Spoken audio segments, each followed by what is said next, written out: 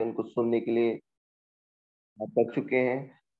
और आशा करता हूँ कि आज का वचन जब हमारे सामने रखा जा रहा है और परमेश्वर जब हमसे बातें करता है तो हम उस वचन को ग्रहण कर सकें और वचन के, वचन को हम अपने हृदय में जगह दें और परमेश्वर के के वचन को पूरा करने के लिए अपने, अपनी सारी सामर्थ को लगाने पाए।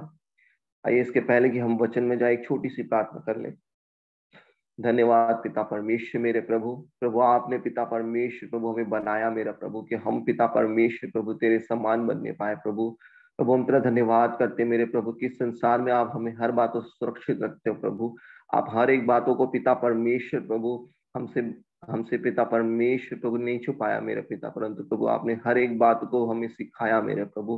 प्रभु तेरा वचन प्रभु हमें निरंतर सिखाता है मेरे पिता परमेश्वर प्रभु। हम तेरा धन्यवाद करते मेरे प्रभु। हम प्रार्थना करते मेरे पिता प्रभु कि पिता प्रभु, हम तेरे जैसे बने पिता परमेश्वर मेरे प्रभु। और पिता परमेश्वर प्रभु, हम हम हम वो लोग कहलाने वाले हो सके पिता परमेश्वर, जो प्रभु आपने चाहा मेरे पिता, जो आपने हमारे जीवन में हमें बनाना चाहा मेरे पिता परमेश्वर, प्रभु, हम तेरी संतान कहलाने वाले हो सके मेरे प्रभु। हम तेरा धन्यवाद करते हैं, प्रभु इस वचन को, पिता परमेश्वर मैं आपके हाथ में सोता हूँ। पिता, पवित्र आत्मा, आप मेरे शरीर पर कब्जा करें मेरे प्रभु। आप में, जब मैं बोलूँ मेरे पिता प्रभु तो प्रभु, आप मेरे, मुझसे, मेरे शरीर के द्वारा प्रभु लोगों से बातें करें, मेरे शब्दों के द्वारा लोगों से बातें करें मेरे पिता। मेरे, मैं अपने आप को प्रभु तेरे हाथों में सौंपता ईश्वर के प्यारे मधुर नाम से माँगता हूँ। आमीन। आज का जो वचन है, वो जो पाया जाता है। लुक, लुका उसका इक्कीसवा अध्याय और वो थर्टी फोर से थर्टी सेवन तक हम इसको आज मनन करेंगे। और हम देखते हैं कि जो सेम क्योंकि हम जानते हैं कि मती मरकुस और लू का एक एक ऐसा अध्याय है, ऐसे चैप्टर्स हैं जो कंटिन्यू यीशु मसीह के बारे में बोलते हैं। और यीशु मसीह हमें इस इस पैराबल को जो हम आपके सामने भी है, उसमें हम देखते हैं कि जो मत्ती है वहाँ पर भी लिखा गया है मरकुस में भी लिखा गया है और लुका में भी लिखा गया है। लेकिन मैं आपके सामने मेन जो मेरा टॉपिक है आज का वो लूका को लेकर है। लुका में जो लिखा गया उस, उन बातों को और मैंने पाया कि जो तीनों उसमें अलग अलग बातें लिखी गई हैं। उनको, उनका जो पॉइंट है वो एक है, लेकिन जो बातें हैं वो तीनों में अलग अलग पाई जाती है। और मैं विशेष चाहूँगा कि हम लूका के से हम समझे कि परमेश्वर और यीशु मसीह हमारे जीवन में है, हमारे हमारे हमसे क्या चाह, चाहते हैं। और जब हम हम जब इसको, आप जब इसको पढ़ते हो तो मैं आपको बहुत शॉर्ट में बताना चाहूँगा कि मैं इसे पढ़ना चाह रहा हूँ कि मैं ना पढ़ूं, क्योंकि मैं कुछ तीनों चैप्टर्स में से थोड़ा थोड़ा आपको समझाने की कोशिश कर रहा हूँ। और परमेश्वर हमें यहाँ पर, हमें सावधान, पहला जो वर्ड है वो है सावधान रहो। और परमेश्वर हमें, हमसे चाहते हैं कि हम सावधान रहें, क्योंकि हमारा जो मन है वो हमें अपने आप अपने मन में हम बहुत सी बातों को सोच लेते हैं और परमे, और हम बहुत सी बातों में में खो जाते हैं और क्योंकि हम ये जो संसार है वो हमें इस बात को इस बात को भुलाने दे, भुला देने के लिए बहुत ही ज़्यादा हमें ऐसा हमें बना देता है कि हम उन सब बातों को जो परमेश्वर ने कही है या परमेश्वर ने हमें वचनों के द्वारा हमें बोला है, हम भुला दें। और हमें बहुत सी ऐसी चिंताओं में डाल, आ जाते हैं कि जिससे हम उन खास बातों को, जो जो प्रभु यीशु मसीह ने हमें खास कही हो या हमें खास आज्ञा दी है, हम भूल जाते हैं। और यहीं पर हम पढ़ते हैं कि जब हम अगर हम, अगर ऐसा हम हम अपने जीवन में करते हैं तो हम अचानक से किसी बड़ी मुसीबत में और फंदे में पड़ सकते हैं। वहाँ वचन बता रहा है कि अगर हम ऐसा नहीं करते हैं तो हम किसी भी, हम एक ऐसे फंदे में पड़ सकते हैं, जिसे मैं नहीं सोचता हूँ कि कोई भी विश्वासी जो मसीह को मानता है, वो इस फंदे में आए। और वो क्या है? वो ये है कि यीशु मसीह का, हम सब जानते हैं कि यीशु मसीह का सेकेंड कमिंग है। सेकेंड कमिंग उसका प्रभु मसीह आना है। लेकिन उस दिन को कोई नहीं जानता है, उस समय को कोई नहीं जानता है, लेकिन फिर भी से हम कहीं ना कहीं इस बात से निश्चिंत हो गए हैं कि प्रभु यीशु मसीह आएगा, पर कब आएगा नहीं मालूम है तो चलो हम आराम कर लेते हैं। या हमारे जीवन में बहुत से अलग अलग बातों से जो मैंने आपको अभी कुछ देर पहले कही है, वो आपके जीवन की चिंताएँ हो सकती हैं, वो आपका, आपके मन में बहुत सी ऐसी बातों का आना हो सकता है, या खुमार या घमंड या जो भी हो जिससे हम इस बात को भूल जाएँ कि हमारे प्रभु यीशु मसीह का सेकंड कमिंग या सेकंड उसका दूसरा बार आना निश्चित है।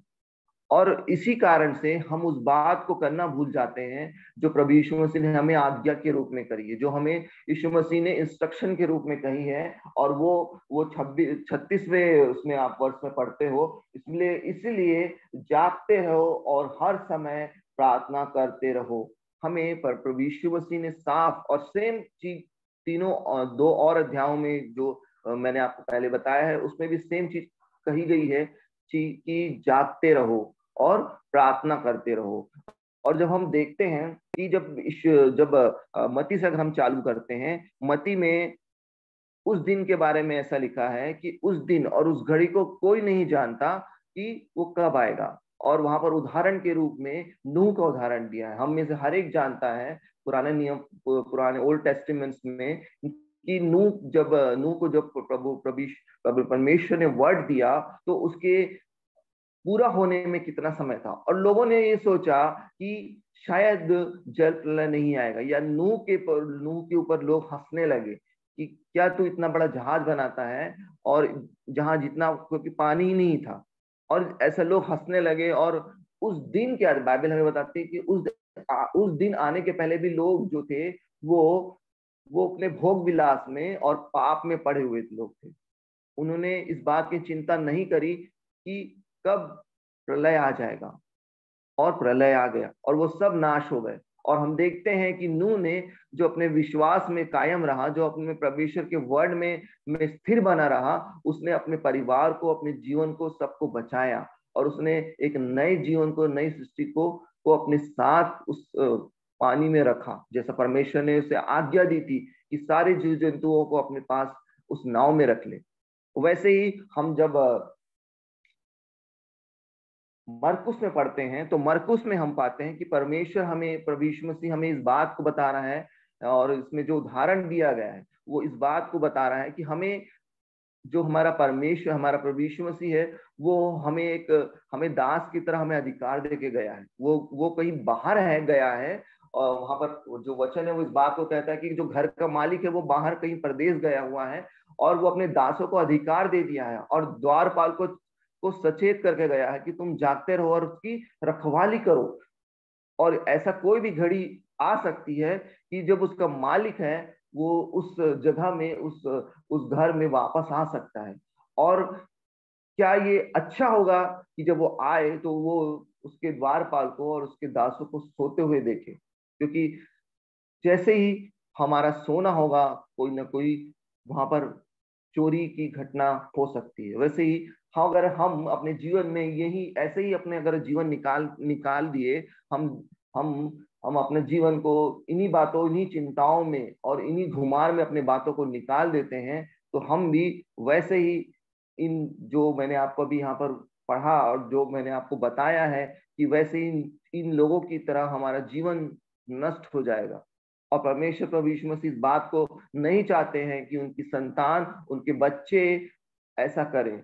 वो चाहते हैं कि हम परमेश्वर के लिए जागते रहें हम उसके लिए निरंतर प्रार्थना करते हैं। और एक सबसे बड़ा और आखिरी उदाहरण मैं आपको देता हूँ जो लुका में है जो आ, हम देखते हैं कि यीशु मसीह जब इस पृथ्वी में था तो उसने कैसे अपने अपने जीवन को रखा। यहाँ पर जब हम आप सैतीसवें वर्ष से पढ़ोगे लुका का तो वहाँ पर आप देखते हो कि यीशु मसीह जो था वो दिन में मंदिर में उपदेश दिया करता था और रात को जैतून नामक पहाड़ में जाकर वो प्रार्थना किया करता था। फिर भोर तड़के वो उड़ जाया करता था और फिर मंदिर में जाकर वो उपदेश दिया करता था। प्रियो, यहाँ पर परमेश्वर ने, यीशु मसीह ने अपने जीवन से इस बात को हमें सिखाया है कि हमें हमेशा जागते रहना है और हमेशा हमें प्रार्थना करते क्योंकि यीशु मसीह स्वयं इस बात को किया करते थे, वो हमेशा प्रार्थना किया करते थे और प्रार्थना हमें कई बार हमें उस परेशानियों से निकाल सकती है उन बातों से निकाल सकती है जिस जिन आ, क्योंकि हम जो मनुष्य हैं और संसार में रहते हैं तो हम कहीं भी हमारा ये अगर हम मसीह में हैं और हमारा जो आ, हमारा सोचना है कि हम सिर्फ़ इस बात पर यकीन कर लें कि हम यीशु मसीह ने हमारे लिए सब कुछ कर दिया है अब हमें कुछ करने की ज़रूरत नहीं है तो यहाँ पर ये वचन हमें इस बात को बताता है कि हमें अब जागना है, हमें प्रार्थना करना है। और यहाँ पर मैं आपके लिए पढ़ देता हूँ, इसमें लिखा है, छत्तीसवें वर्ष में पढ़ रहा हूँ, इसलिए जागते रहो और हर समय प्रार्थना करते रहो कि तुम इन सब आने वाली घटनाओं से बचने और मनुष्य के पुत्र के सामने खड़े होने के योग्य बनो। और हमारा जब पिता आएगा तो हमें हमें, हम उसके सामने खड़े रह सके प्रियो क्या हम अपने जीवन में अपने सब बातों से परमेश्वर के सामने खड़े रहने योग्य हैं? क्या हम अपने जीवन में अपने जीवन में हम जो भी कर रहे हैं जो भी हम अपने काम अपना अपना काम लिया हुआ है चाहे वो आ, पैसे कमाने के लिए चाहे कोई भी हो कोई भी बिज़नेस हो कोई भी व्यवसाय हो कोई भी आप जॉब करते हो आप कुछ भी करते हो क्या हमने अपने जीवन में इस बात को समझा है कि हाँ जो हम कर रहे हैं वो परमेश्वर को भाएगा? या परमेश्वर हम हम इस बात को कहीं ना कहीं इस बात को झुकला रहे हैं या इस बात से हम दूर भाग रहे हैं कि परमेश्वर तो हमसे ये चाहता है लेकिन हम कुछ और कर रहे हैं।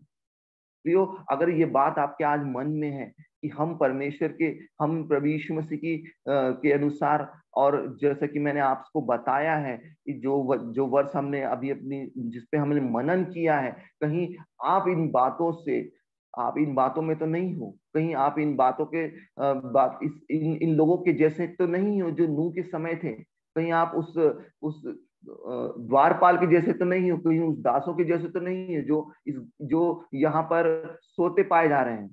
हमें प्रिय सोते नहीं है, हमको सोना नहीं है। हमें परमेश्वर के लिए जगना है। हमें इस बात को समझना है कि हमारा जो प्रभु यीशु है, वो हमें इस बात को कह रहा है कि हमें इस, इस समय में जगना है और हमें प्रार्थना करना है। आइए हम प्रियो आज से हम कुछ बातों को सीखते हैं और आज से हम कुछ बातों को अपने जीवन में इम्प्लीमेंटेशन करते हैं कि हम आज से अपने जीवन में एक समय प्रार्थना करेंगे और हम अपने जीवन में उस एक आप एक समय को निश्चित करें जिससे आप एक एक अच्छा समय परमेश्वर के साथ बिता सके और आप प्रार्थना करें। मैं इस बात पर निश्चित हूँ कि जब हम प्रार्थना करेंगे तो सिर्फ़ और सिर्फ़ हमारी परेशानी नहीं, हमारे जिन की परेशानी नहीं। परंतु प्रभु यीशु मसीह हमें उन बातों को बताएँगे जो परमेश्वर चाहता है। और जब हमारी, हम प्रार्थना करेंगे तो हम इस बात को जानेंगे कि परमेश्वर हमें हमें कुछ बातों के लिए प्रार्थना करवा रहा और आपको आपको जब आप प्रार्थना करने बैठोगे तो आपको आपको सोचने की ज़रूरत नहीं, हम किस विषय में प्रार्थना करें। आपको ऑटोमेटिक आपको, आप, आपके प्रार्थना का विषय मिलता रहेगा। प्रियो आज हम एक बात को समझें कि परमेश्वर प्रभु यीशु मसीह हमसे चाहते हैं कि हम अपने जीवन में प्रार्थना करना सीखें। और हम एक ऐसा समय, हम हम अक्सर ऐसे समय को चुनते हैं जो हमारे लिए सूटेबल होता है और हम जिसमें इजिली अवेलेबल हो जाए। तो आज मैं आपको इस बात को से इंकरेज करना चाहता हूँ कि आज हम एक ऐसे समय को हम निश्चिंत करें जिसमें हम ये बोल सकते हैं कि हम अपने जीवन में हम जाग रहे हैं और हम प्रार्थना कर रहे हैं। हमारा यहाँ पर जो वचन बताता है कि जागते रहो जागते रहो मतलब एक ऐसा समय जहाँ हमारे को सोना है, लेकिन हम हम जगे हैं और हम क्या कर रहे हैं? हम प्रार्थना कर रहे हैं। प्रियो, मेरा आज का विषय यही है कि हमको जागना है और प्रार्थना करना है। और इस बात को मैं कहते हुए आज खत्म करता हूँ, इस बात को कहते हुए खत्म करता हूँ कि हमें अपने जीवन में जागना है। आप इसके पहले कैसे भी जी रहे थे, आपने आपने, आपके जीवन में बहुत आशीष है, बहुत अच्छी बात है, आपके आपके जीवन में हर एक सुख है, बहुत अच्छी बात है, लेकिन आज से आपको जागना है प्रियो।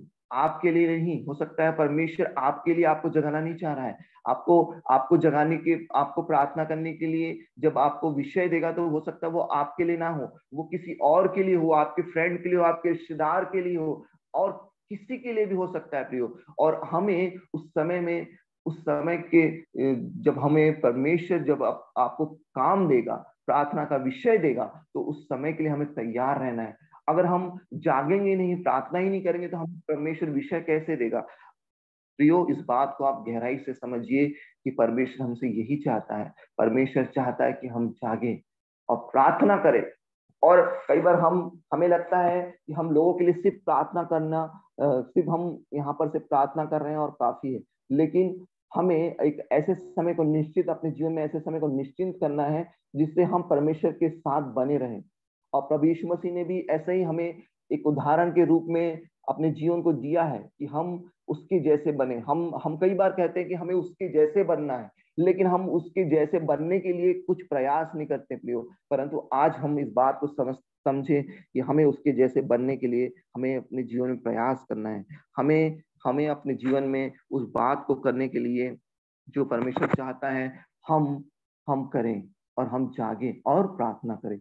आइए हम प्रार्थना करें। धन्यवाद पिता परमेश्वर मेरे प्रभु, आज के सुंदर वचन के लिए प्रभु प्रभु तेरा वचन हमें इस बात को कहता है पिता प्रभु कि हम, हमको जागना है, हमें प्रार्थना करना है। हो सकता है पिता परमेश्वर मेरे प्रभु, कि ये प्रार्थना, ये जागना मेरे पिता, हमें अपने अपने लिए ना हो मेरे पिता परमेश्वर प्रभु। हम हम औरों के लिए जीना सीखे मेरे पिता। हम औरों के लिए पिता परमेश्वर प्रभु अपने जीवन को देने पाए मेरे पिता।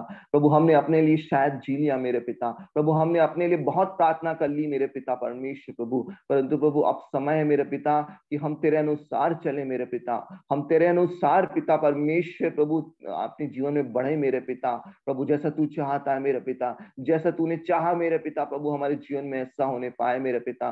प्रभु, हम प्रार्थना करते हैं मेरे इस वचन को पिता परमेश्वर, प्रभु, आज से पिता हम एक समय को पिता परमेश्वर तुझे देने पाएँगे मेरे प्रभु। हम तेरे सम्मुख अपने अपने घुटनों को टेक कर पिता परमेश्वर, प्रभु, हम तेरे सम्मुख आएँगे पिता, हम प्रार्थना करेंगे पिता, इस बात को हम हम जानते हैं पिता परमेश्वर, प्रभु। और ऐसा ना हो मेरे पिता की इस वचन को सुनने वाला या इस बात को जानने वाला एक भी मनुष्य मेरे पिता परमेश्वर, तेरे समय के आने तक मेरे पिता परमेश्वर प्रभु अयोग्य ठहरे मेरे पिता। प्रभु, हर एक वो पिता परमेश्वर मेरे प्रभु जो जो मसीह को जानता है, जो यीशु को जानता है। प्रभु प्रभु होने दे पिता कि वो मेरे प्रभु प्रभु, इस वचन को जानते हुए पिता परमेश्वर और इस वचन को सावधानी और इंस्ट्रक्शन के रूप में लेकर प्रभु, अपने जीवन के प्रभु, उन बातों को बदले पिता। और प्रभु, तेरे अनुसार चले मेरे प्रभु। और अपने समय में मेरे पिता परमेश्वर प्रभु, जब तू आता है मेरे पिता, प्रभु, हम तेरे सम्मुख खड़े रहे मेरे प्रभु। उस बात को हम कहते हैं मेरे पिता। प्रभु, उस बात को पिता परमेश्वर प्रभु, और हाँ और आमीन में हम सब एक मन होकर प्रभु, इस बात को पिता हम मानते पिता, कि हम पिता आज से प्रभु, एक समय को प्रभु तेरे को तुझे देंगे पिता। हम तेरे साथ बैठेंगे पिता, हम तेरे सम्मुख बैठेंगे पिता। जो तू बोलेगा पिता, हम प्रार्थना करेंगे पिता। जिन विषयों को तू देगा प्रभु, हम उसके लिए प्रार्थना करेंगे पिता। हम प्रभु हम तेरे जैसे बनेंगे मेरे पिता प्रभु। और क्या माँगता प्रभु, इस बिनती को प्रभु यीशु मसीह के पैर मधुर नाम से माँगता हूँ। आमीन। सभी को प्रेज द लॉर्ड जय मसीह की।